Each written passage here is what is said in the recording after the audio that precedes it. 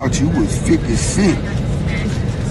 I've been around from you for a long time, I thought you had some real tendencies, homie. I'm a phone call away or a face-to-face meeting away with anything. Man, you're a real life sucker. Trying to manipulate the fans' minds and play with these people. Tell these people all these old fake ass, false ass lies and shit. To support the fact that you bricks and in your hand. Homie, let them know that all I'm doing is trying to get rid of my, I'm trying to fulfill whatever was there to keep it moving. You trying to sabotage me, pull my music down, seeing ceases desist everywhere.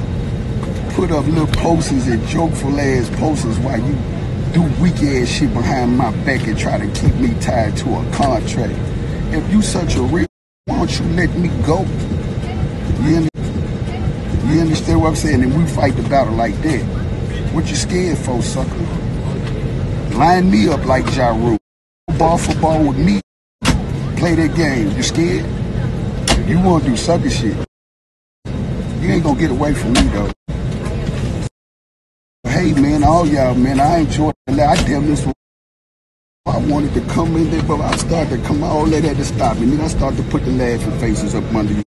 You look like an idiot right now. Straight up, homie. But hey, if that's what floats your boat, man, do what you do. All I'm gonna do is let you know though, you know how I'm coming. It's understood. All your little gay games you playing and all that old suck ass shit you doing around here on the social media, this shit don't work, homie. You understand what I'm saying? Get out of here, nigga. What was it? You ain't had a hit. You ain't even been involved in music. I dare you to pick up a mic and come this way, nigga. I'ma slice your ass. But I'm doing this shit conservatively. I'm gonna get away from your bitch ass. I'm getting up out this contract and I'm gonna serve your bitch ass. We gonna play the game.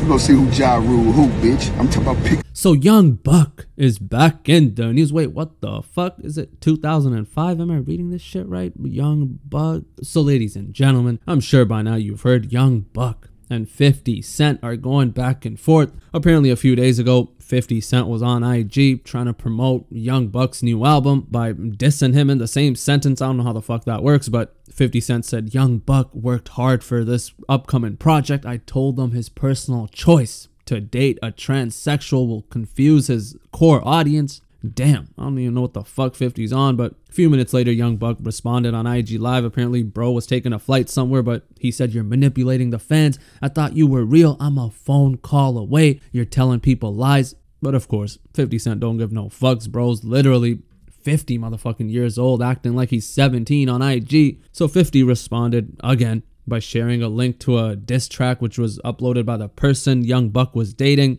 who was apparently transgendered. Who the fuck knows? But Again, I still don't know why the fuck 50 gives two fucks who someone else is dating, but he wasn't done. 50 apparently responded again on his IG by creating a GoFundMe page for Young Buck. Young Buck responded again by telling 50 Cent his days are numbered. Bruh, do I think this is some Tekashi 6ix9ine and Trippie Redd beef on some old head shit? Could be, to be honest, it could be, you know, 50 Cent, great fucking promoter, but as of right now, it's not clear.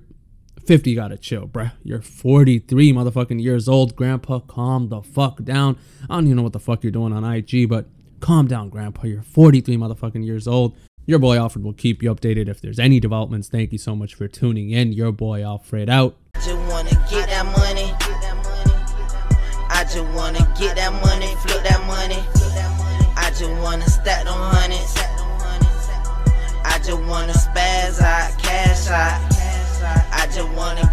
money.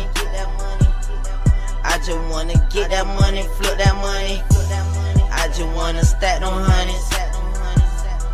I just wanna spaz.